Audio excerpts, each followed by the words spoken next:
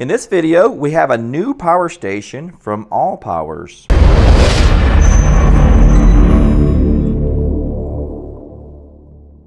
So this is the new R1500. It's lithium iron phosphate, has 1,152 watt hours of battery capacity. It weighs 36 pounds. We have a 15 amp AC charging capability. We've got 650 watt max solar charging, and we've got an 1800 watt AC inverter output. Let's open it up. All right, here's our ALLPOWERS accessory pack. There's our solar cable, and we have an AC charging cable, manual and warranty card. And here's the power station. We've got two USB-A outputs. We got two USB-C outputs at 100 watt. One, two, three, and four AC output receptacles. They look like a 20 amp and uh, we've got our DC cigarette lighter jack, our screen. Oh, look, we got wireless charging, 15 watts, so there's two of those here. On the side, we've got our AC charging input, we got a resettable fuse, and we've got our solar and DC charging inputs. The solar input can handle 12 to 60 volts. And on the other side, we have expansion battery ports. Looks like we've got two. Yep, absolutely. We've got two expansion battery ports. That's really neat. I didn't know this model had expansion batteries. Well, let's see if we can power the unit on. And there it is. It arrived to us at 73% state of charge. Let's plug our AC charging cord in and see how fast we can charge. Okay, now we're registering some power coming in.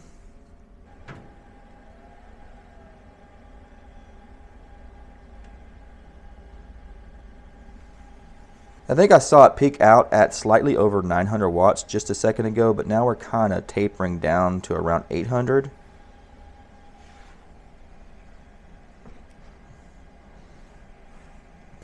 So now that we're getting closer to 90%, we're seeing this power actually taper off even more. Okay, I want to try connecting with their app, uh, but the Bluetooth is not on by default from the factory on this unit. The manual says that we have to hold the DC button for three seconds. Okay, there it is. Now I see the Bluetooth and the Wi-Fi icon. Let's see if we can find it. Now. Oh, there it is. We found it. And there we go. I absolutely hate this login thing that, that some of these apps force you to do. Okay, so on their app here, so I was going to log in with Google. It says, please read and agree to the privacy policy. And I'm like, okay, where is that? And finally, I'm looking down here in, in small micro text. There's this. so you can read all this. And I'm trying to find out where the agree button is, but I can't see it. And I'm looking all over the place. And it turns out it's this little bitty tiny dot right here. There. I check marked it to where I agree. That's not very intuitive. Yeah, there we go. Now we're back. And, uh, okay. So it wouldn't allow me to go to this page if I wasn't logged in. So, real quick, power station people, app people, if you're listening, we don't like logging in, okay? There's no reason for us to give personal information for us to use our devices. You guys really need to consider that. Okay, back to the review. So we're at the standard mode, fast mode. I'm not sure what eco mode is. Maybe that's where the inverter can shut down after a period of time. We got one, two, four, and six hours. So let's try to plug in a load as we're charging to make sure that works. We'll plug in this heater. And we need to turn the AC output on. There it is. Yep, so we can charge and use the AC output at the same time. So the heater's on low. Let's do medium. We're at uh, 1058 watts. Let's crank it up to high. All right, we're at 1392 watts. We need to find something else to plug in here. All right, let's plug this heat gun in.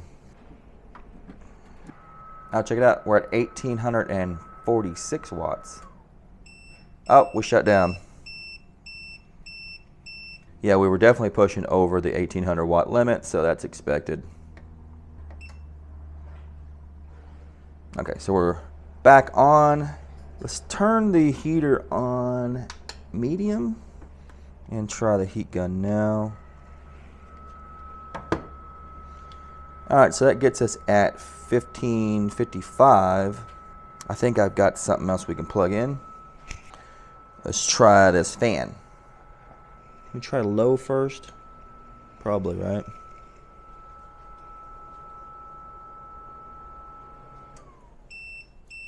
Uh-oh. We shut down again, and I didn't even see it go over 1800 watts. All right, I'm curious now if we disconnect AC,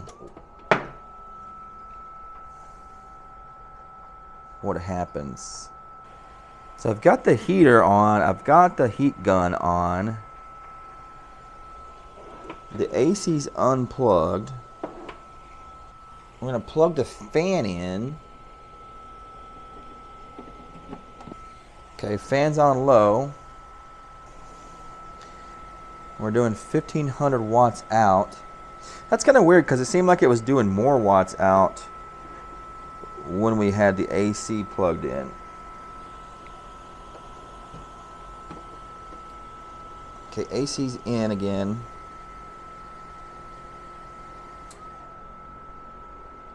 Oh, look. What? it was running the heater, the heat gun, and the fan just fine. And then I plugged in the AC charging, and we went up to a higher wattage output, and then it shut down. Let's start this again. We've got the AC charger disconnected.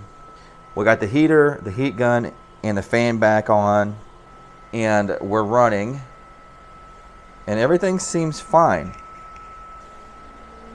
Okay, the fan's on high. Yeah, now it totally will run these loads without shutting down. It seems to be a limitation if you've got the AC input on and you're running loads. All right, so now I'm curious of how, if we can do the heater on high, and we do the heat gun on. Okay, we're doing almost 1700 watts. We're still running fine. No problem. Let's turn let's turn the fan on. We're exceeding the 1800 watts now.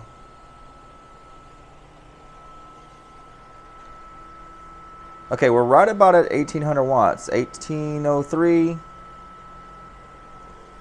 yeah, it's running this stuff fine, and we're at the maximum wattage. Yeah, so if you got the AC input plugged in, you can't get as much wattage out of this unit. It's been running for a little while here just fine. So it can handle its maximum rated output just fine. Just not with the AC input connected. I'm thinking you're limited to like, I don't know, 1500 watts or something like that we've seen.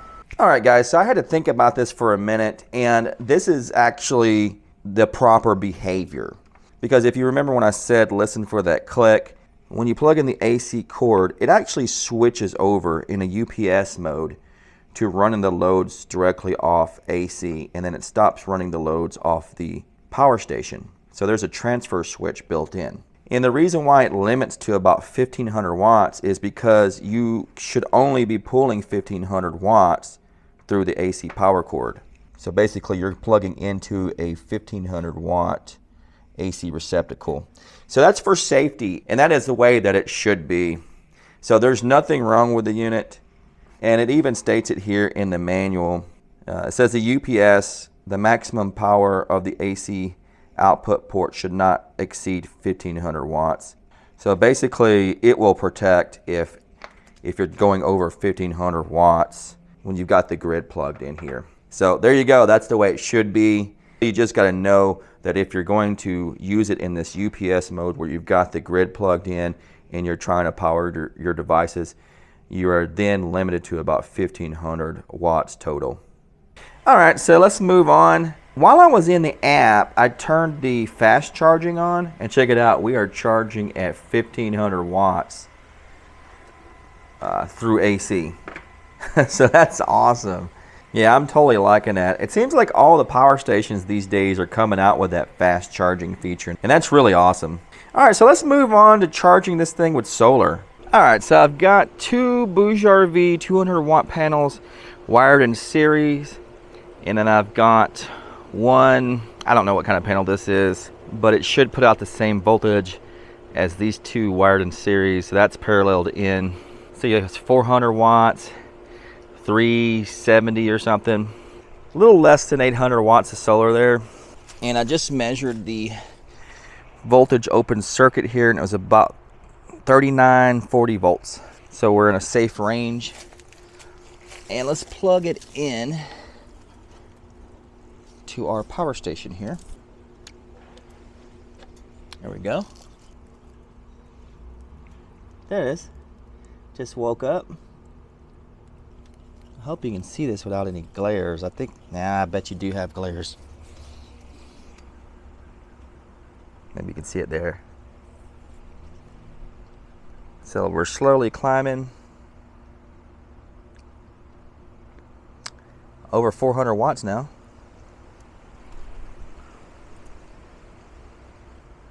Ah, it looks like we're kind of maxing out at 455. Yeah, we need to see what kind of current we're pulling through here because a lot of these solar power stations, you know, they're limited on the current of what you could put in here.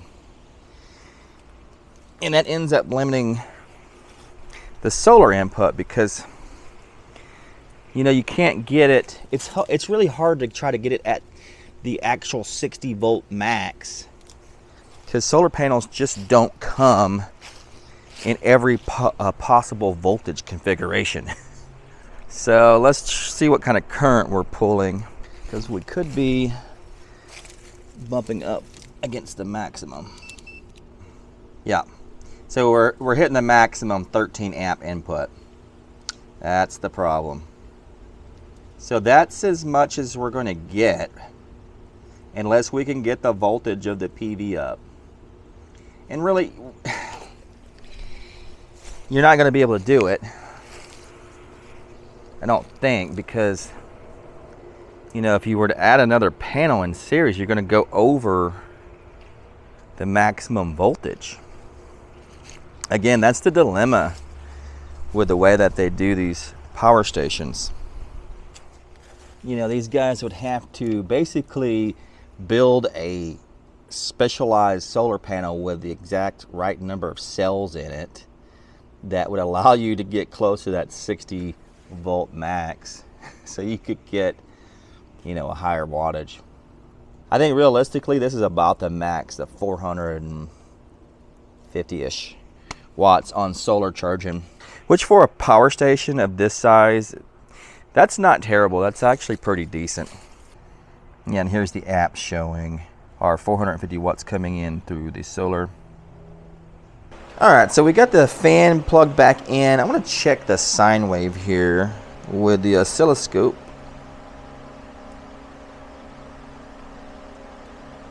Yep, and we got a pure sine wave. Alright, so we're fully charged up to 100%. And now we're going to do a usable capacity test. We're going to do it through the cigarette lighter jack. And as always, there's some conversion circuitry behind this. So I don't expect it to be 100% efficient. Uh, but we'll run the test and see what kind of usable capacity we get. We're going to do the test at 8 amps we need to turn the DC output on. Okay, there we go. Now we're seeing 12.5 volts. So let's start the test. We're pulling 94.3 watts. We'll just let that run and we'll come back and see what we get. All right, the capacity test is completed and we have 959.5 usable watt hours.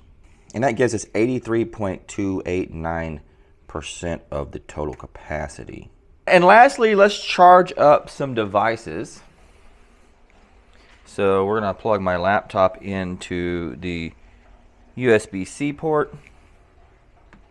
There we go, and it says we are charging, and we're showing 20, 22 watts. I think it's going up. There we go, let's get rid of that glare. Yeah, it's going up there. And then let's also plug in my tablet. And we're also charging as well. Alright, so we're going to plug my phone into the other USB-C output. Alright, there we got turbo power. We're charging everything, everything at about 42 watts. Yeah, so there we go. We're charging my laptop, my phone, and my tablet. Uh, that all seems to be working pretty good. All right, guys, so I think that's going to be the end of the video. As always, let me know what you think about this unit, and I'll catch you the next one.